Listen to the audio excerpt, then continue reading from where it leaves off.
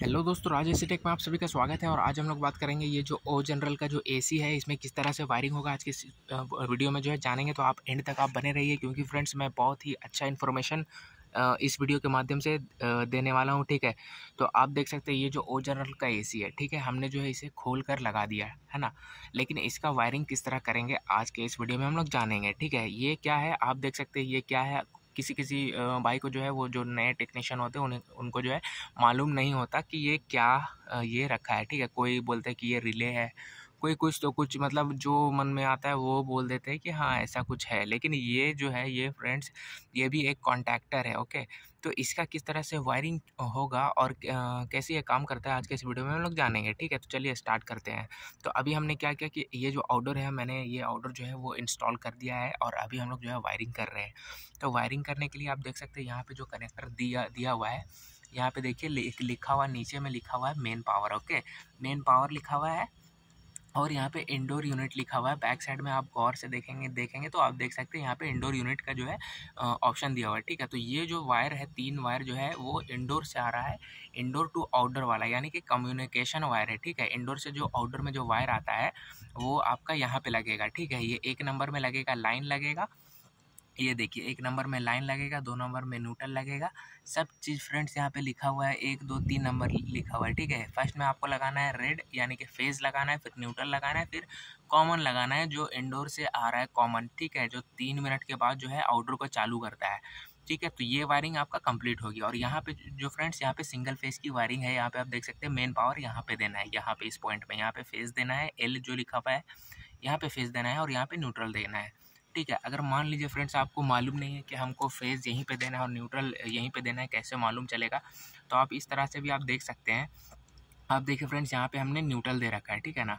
और यहाँ पे हमने न्यूट्रल हम लोग जो है देंगे न्यूट्रल ठीक है? तो न्यूट्रल आप देख सकते हैं, यहाँ से जो ये ये जो वाइट कलर का जो वायर है, आप देख सकते हैं, यहाँ पे जो है लूप होकर जो है, ये यहाँ से न्यूट्रल जो लूप होकर यहाँ पे आ रखा है, ठीक है? यहाँ पे इस पॉइंट पे, यानी कि दो नंबर में आया हुआ है। आप देखिए, मैं साइड से दिखा रहा हूँ, दो नंबर में आया हुआ है तो यहाँ पे न्यूट्रल हम देंगे, ठीक है? इस तरह से आप पता कर सकते हैं।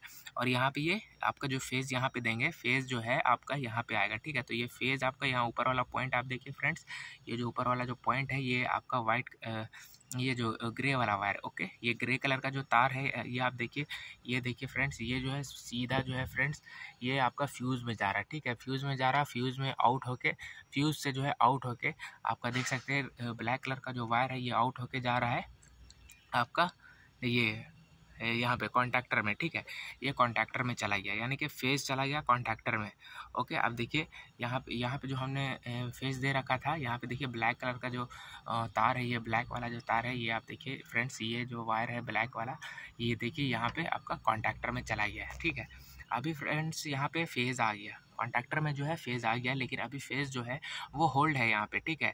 ये आगे का प्रेशर को नहीं दे रहा है और आगे कम प्रेशर को कब देगा? फ्रेंड्स जब आपका ये जो तीन मिनट के बाद जो आउटपुट आएगा, ये वाला तार में, यानी कि इंडोर बोलेगा हाँ भाई नीचे टेम्परेचर अभी ज़्यादा हो गया तो आप चल जाओ। ठीक है? तो आउटडोर क्या होगा कि आउटडोर जो है, ये वाला वायर जो है तीन मिनट के बाद जो आउटपुट आएगा, ये वाला वायर जो है, इसमें पावर आएगा टू ट्वेंटी वोल्टेज तो यहाँ पे क्या होगा? ये आपका कंट्रोल वायर है, ठीक है? ये कॉन्टैक्टर का कंट्रोल है, ठीक है? यहाँ पे जैसे ही तीन मिनट के बाद आउटपुट आएगा, ये क्या करेगा कि यहाँ पे कॉन्टैक्टर को प्रेस कर देगा पुश कर देगा, ठीक है? तो ये जो फ़ेज़ है, ये फ़ेज़ जो है आगे की ओर बढ़ जाएगा, ठीक है? तो जिस, जिससे क्या होगा कि इसका जो कंप्रेशर कंप्रेशर जो है, इस, ये आपका कंप्रेशर का वायर है, वो चालू हो जाएगा और ये कैपेसिटर जो है कैपेसिटर जो है देखिए, यहाँ पे जो कैपेसिटर कैपेसिटर भी लगा हुआ है, ठीक है? तो हमने क्या है फ्रेंड्स आपको जो है ये कॉन्टैक्टर के बारे में इस वीडियो में डिटेल्स में समझाने की कोशिश की है।